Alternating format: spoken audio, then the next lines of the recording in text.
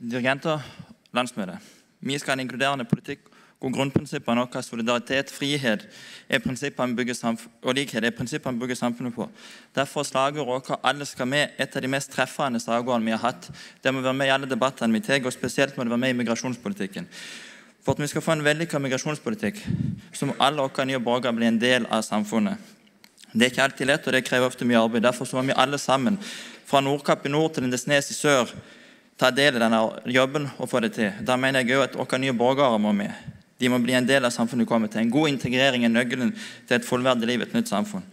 Integrasjon av nye landsmenn er ikke alltid, vår, det er ikke alltid en enkel jobb. Derfor vil jeg begynne med et eksempel det har gått godt.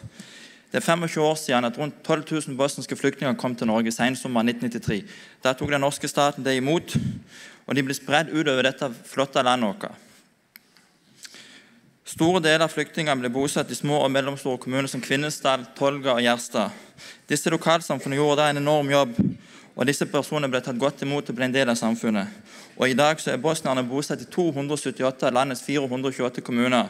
Som følge av det snakkes Statistisk sentralbyrå om de som integreringsvinnerne. Det spørsmålet vi stiller dere her nå, er hva vi har å lære fra denne hendelsen. Det at Norge var der i en krevende posisjon. Det kom et stort antall flyktninger på veldig kort tid. Men at utfordringene ble overkommet på en veldig god måte. Hva var grunnen til det? En av grunnene til det var uten tvil at vi da tok i bruk hele landet vårt.